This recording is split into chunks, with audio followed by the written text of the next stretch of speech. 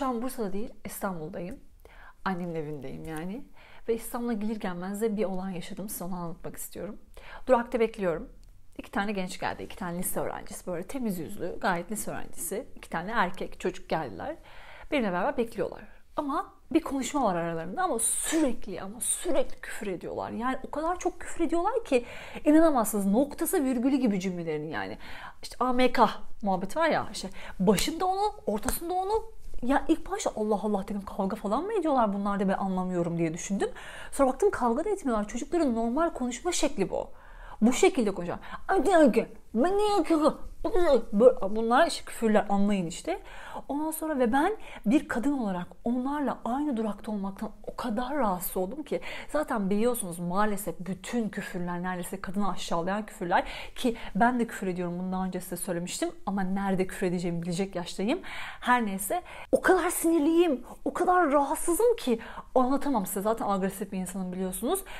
Sabrettim, sabrettim, sustum, sustum, sustum. Yok. Devam ediyorlar. Küfürün beni bin para yani. En son döndüm arkama dedim ki ya siz ne yapıyorsunuz?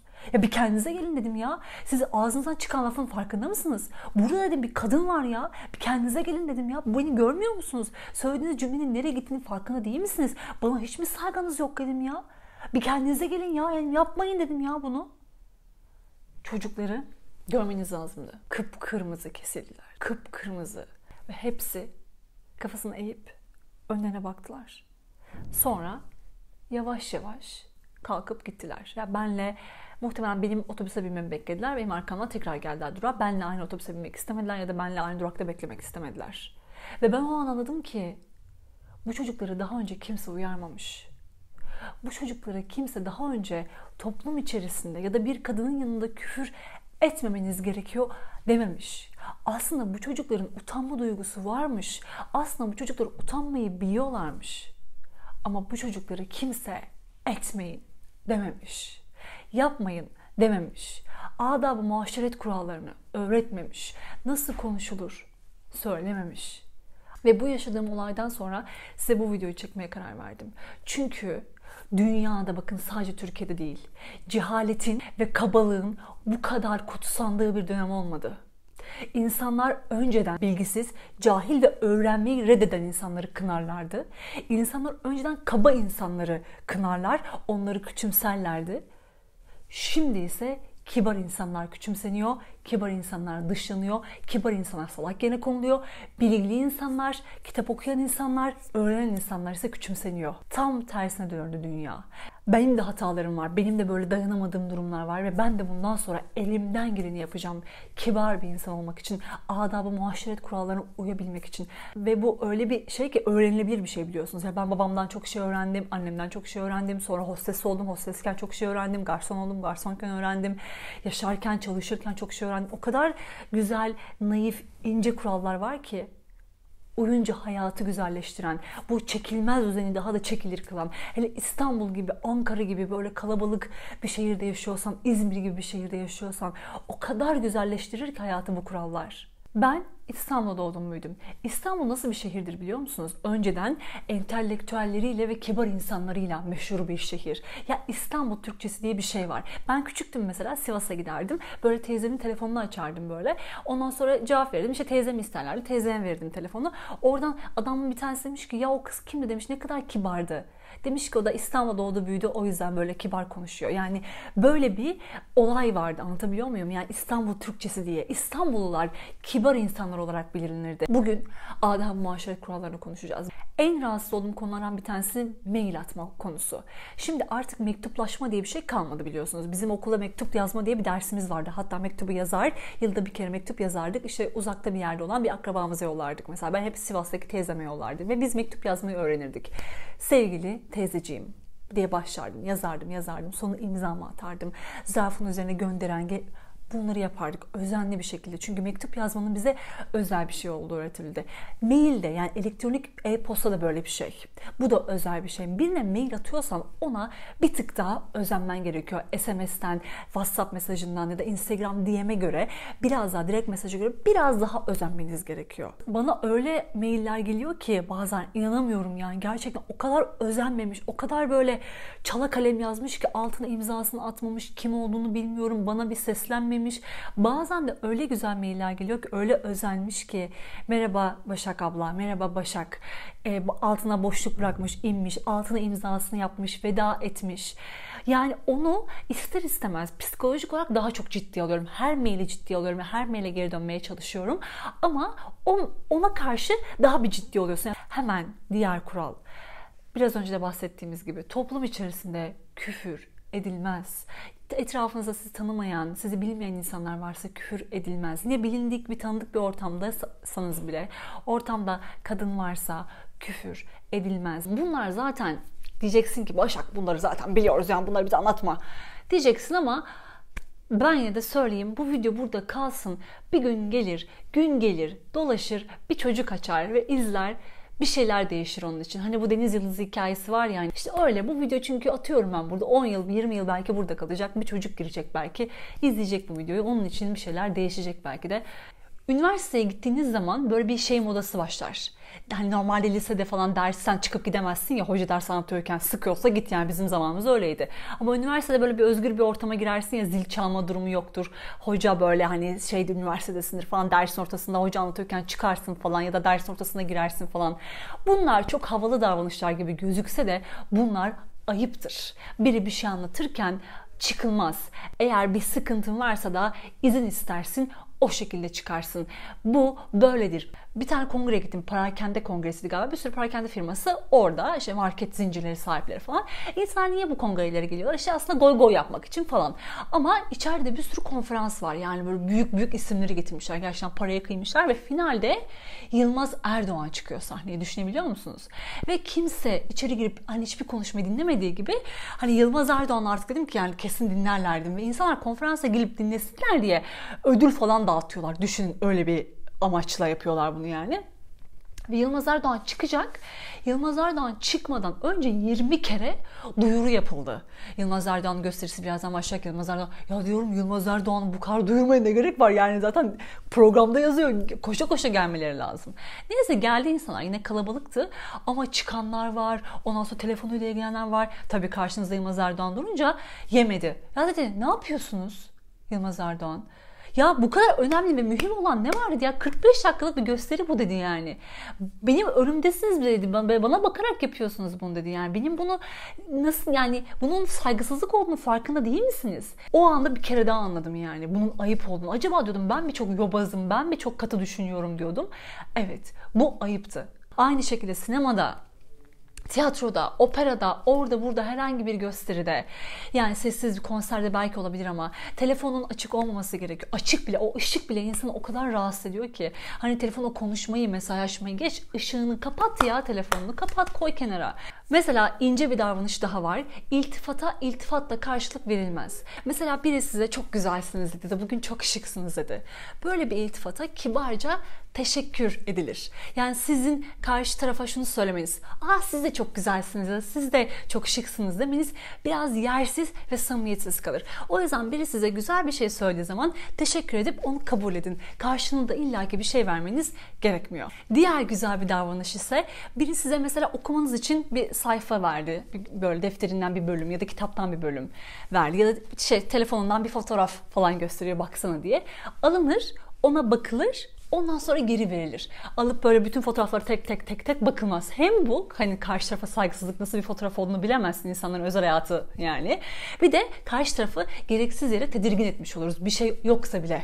En temel adab muaşeret kurallarından bir tanesi kimsenin sözü kesilmez. Ve sözü bitmeden de tepki verilmez. Aslında ben bunu çok yapıyorum çünkü birden yükseliyorum falan diye bir dur, dur Başak bir dinle diyorlar yani. Hani daha sonunda ne olacağını bilmedim. Belki daha büyük bir şey oldu. Belki de hiçbir şey olmadı. Bu bazen benim videolarıma bile oluyor mesela. Videomu izlemiş tamam mı? Nereye bağlayacağımdan haberi yok. Aşağıya yazmış. Vula vula vula vula vula vula vula vula vula vula vula Ya bir dur. Ben ne diyeceğim ne biliyorsun? Belki o cümlenin sonu ne yaptım? Belki ironi yaptım. Belki taşlama yaptım. Belki kinaye yaptım. Belki de o anlamda kullandım. Bir bekle, bir dinle, bir dinle bakalım ben ne diyorum. Bu da çok ince davranışlardan bir tanesi. Bunu hosteslikte öğrenmiştim aslına bakarsanız.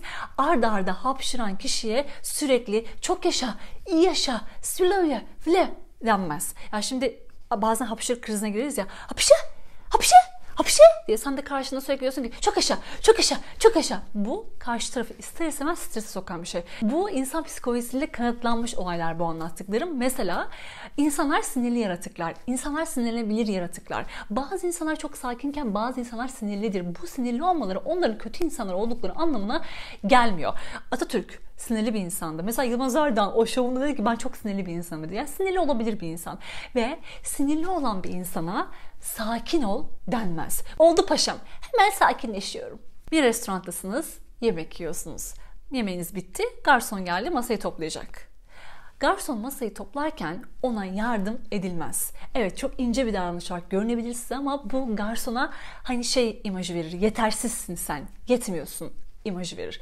O yüzden bırakın toplasın. Eğer sizden yardım isterse bana şunu uzatır mısınız derse tabii ki yardım edersiniz. Aynı şekilde diğer meslek erbapları için de bu geçerli. Ya kaşınızı aldırırken dur abla alamadın şurayı da ben bir alayım deme, demezsin. Şurayı da alır mısın dersin mesela.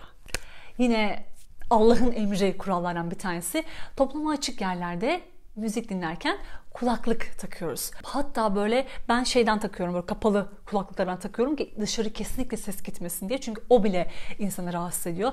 Belki kitap okuyor, belki başka bir şey yapıyor, belki başına bin tane dert var. Beraber yaşıyoruz arkadaşlar ya. Beraber yaşıyorsak eğer beraber yaşamanın, birbirimize katlanmanın yollarını bulmamız gerekiyor.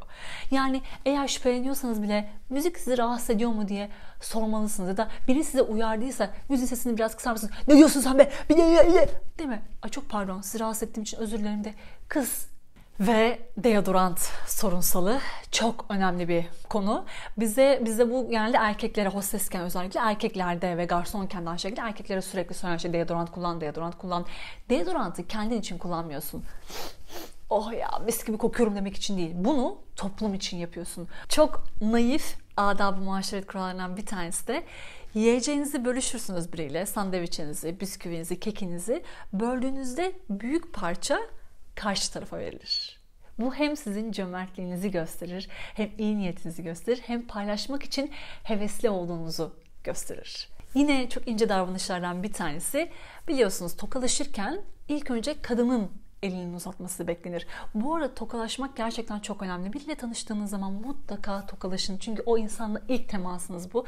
Gerçekten çok önemli. Ama ilk kadının elini uzatmasını bekleyin. Kadın uzattıktan sonra tabii ki erkekseniz diyorum bunu tokalaşırsınız. Aynı şekilde bile tanıştınız. Sonra yolda karşılaştınız. Bir erkek olarak diyorum bunu. Yolda karşılaştınız.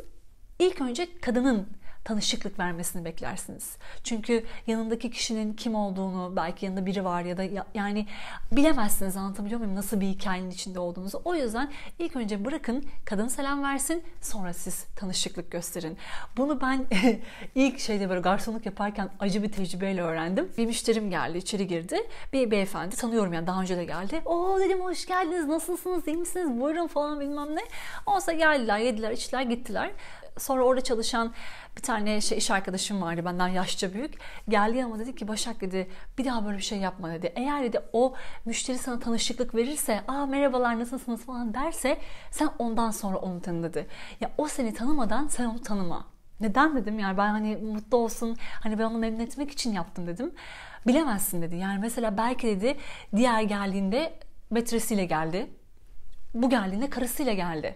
E, kadın diyecek ki sen buraya bir kere daha mı geldin? İş arkadaşıyla gelmiştir daha önce hani ilk defa geliyorum demiştir. Ne konuşulduğunu bilemezsin. O yüzden sen tanışıklık verme. Bırak o versin. Eldivenle tokalaşılmaz. Bunlar çok güzel olaylar biliyor musunuz? Soğuk havada elinizde eldiven var. Biriyle tanışı, karşılaşıyorsunuz bir tanıdığınızla. Elinize eldiveni çıkartıyorsunuz uzatıyorsunuz elinizi, tokalaşıyorsunuz. Bunlar o kadar kibar, o kadar güzel davranışlar ki. Mesela işte güneş, güneş gözünüzde güneş gözlüğü varken biri tanıdığınızla karşılaştınız. Hemen çıkartır o güneş gözlüğü. Yani göz teması kurmak önemli. Güneş gözlüğüyle konuşmak gerçekten saygısızlık. Böyle insan böyle çık çıkar şunu falan diyesi geliyor. Anlatabiliyor muyum? Orada hemen gözünü çıkarmak, kapalı bir alana girdiğinde hemen şapkanı çıkarmak. Bunlar o kadar güzel davranışlar ki, o kadar güzelleştiriyor ki hayatı. Mesela bir masada oturuyorsunuz, yemek yeniyor. Tuza ihtiyacınız var. Tuz da uzakta. Kalkıp böyle masanın üzerine diye tuzu almanız aslında ayıptır. Bunun sebebi şu. Çünkü eğildiğiniz zaman neler döküleceğini bilemeyiz üzerinizden. Bir de hoş bir durum değil. Mutlaka birinden karşı taraftan istemeniz gerekiyor. Tuzu uzatır mısın? Tabii uzatırım. Buyur. Bu. Çok önemli bir mevzu. Çok sinir olduğum bir mevzudur aynı zamanda. Hostesken de, garsonken de her türlü bir mekana girerken selam verilir. Hatta böyle şey vardır destursuz girilmez bir yere. Hani destur var mı falan dedi böyle kabadayı laflar falan vardı böyle. Yani izin var mı? Merhabalar. Hani gir, giriyorum, ben geldim, buradayım, merhaba diyorsun. Ayrılırken de teşekkür ederim, hoşçakalın, teşekkür ederim, kolay gelsin, görüşürüz. Desturla gir, veda ederken de selamını ver, çık. Garsonken ben şimdi kapıda bekliyorum tamam mı? Ya yani orada niye bekliyorum? Hoş geldiniz etmek için, buyur etmek için bekliyorum. Hayda giriyor. Ya ben burada eşek başı mıyım? Avrupalı müşterilerimin hiçbirinde böyle bir şey yaşamadım. Gelirler, merhaba derler. E, bütün mekan boş olsa bile boş yeriniz var mı derler. Çünkü rezervasyon o olabilir. Peki nereye oturabiliriz diye sorarlar. Ve garson götürür onu oturtturur ve otururlar. Taksiye binmenin de bir adabı var aslında bakarsanız ve bu taksiciler için de çok önemli çünkü onların güvenliği açısından. Taksiye bindiğiniz zaman öne oturmadığınız takdirde taksicinin çaprazına oturmanız gerekiyor. Eğer taksicinin tam arkasına oturursanız, yani taksici önde siz arkasında bu taksiciyi çok tedirgin eder. Çünkü bu, bu şekilde çok fazla tacize uğruyorlar, çok fazla dayak yiyorlar, kaçırılıyorlar. Mesela işte alıyor kemeri geçiriyor kafasına tam arkasındayken ve ben taksicilerden biliyorum eğer diyor tam arkama oturursa diyor anlıyorum ki diyor bir sıkıntı var. Bunu ilk hostesken öğrendim ve müthiş bir şey olduğunu size söylemem gerekiyor. Şudur, başkalarının bebeklerine dokunmayın. Yolda karşılaştığınız, tanımadığınız bir kadının, adamın çocuğunu alıp akıcık da bakıcık, bakıcık da bakıcık yanağını sıpmak, öpmek. Çünkü ya bebek o. Hani her an hastalık kapabilir. Senin ellerin ne durumda bilmiyorsun. Bu arada sen hasta olabilirsin. O bebek hasta olabilir. Yani bebek sonuç olarak bu tamam mı? Ve çocuk yani başkasının çocuğu. Böyle bir riske giremezsin. Hani bu bize kesin kural. Dokunmayacaksın. Son olarak da şu var pazarlık yapmak da bir adap gerektirir. Pazarlık yapılırken mal kötülenerek pazarlık yapılmamalı. Ya Allah aşkına zaten kötü bir mal, zaten kalitesiz. Ver işte 10 liradan. E kalitesiz alma arkadaşım. Zorlama aldırıyorum sana. Benim malım kötüleyerek ucuza mı almaya çalışıyorsun? Olabilir mi böyle bir şey? Pazarlık yapmanın bile her şeyin bir adabı var. Bunlar güzel incelikler, hayatı güzelleştiren incelikler. Ben Migros'a bir görüşmeye gitmiştim benim uygulama fikriyle alakalı ve girdim firmaya, şirkete, şirket genel merkeze gittim. Herkes o kadar kibar ki yani temizlik görevlisinden sekreterine herkes görüştüğüm insanlar, üst düzey yöneticiler hepsi o kadar kibarlar ki ve birbirlerine karşı da çok şaşırdım ve Migros'un yöneticilerinden bir tanesi bizim okulda hocamızdı. Ona sordum. Hocam dedim ya ne kadar kibarsınız. O kadar alışılmadık bir şey dedim bu Türkiye'de ki şirketlerde de şirketlerde de insanlar o kadar nemrut, o kadar kaba ki birbirlerine. Çünkü o kadar şiddet yani psikolojik şiddet uyguluyorlar ki birbirlerine o yüzden böyleler. Ondan sonra dedi ki neden biliyor musun Başak dedi. Çünkü dedi bizim CEO'muz yani Migros'un CEO'su o kadar kibar bir insan ki dedi. Şirkete girerken herkese selam verir dedi. Eğer patron kibarsa temizlik görevlisi kibar oluyor. Bizde kibar olmak, yani bizim kaba olma şansımız yok. Çünkü başımızdaki insan çok kibar. Herkese saygılı. Tabii ki de kibar olacağız. Ben bu konuyla ilgili Milli Eğitim Bakanlığı'na yazacağım. Ciddi söylüyorum. Bir etkisi olmayacak muhtemelen ama ben yazacağım. Bence adab-ı muaşeret kuralları müfredata girmeli. En azından kibarlık bir şey öğretilmeli yani. Ki öğretiliyormuş bu topraklarda. Yani askeriyede orada burada çok eski okuyorum biliyorum öğretiliyormuş yani. Tekrar öğretilmeli bence. Hayatı daha çekilir kılmak için en azından. Beni izlediğiniz için, dinlediğiniz için teşekkür ederim. Kendinize iyi bakın. Hoşçakalın. Bahtiyarlığın en büyüğünü tatıyorum. Şeref duyuyorum, onur duyuyorum, gurur duyuyorum, huzur duyuyorum. Ben sizinim. Sizler de benimsiniz. Teşekkür ederim.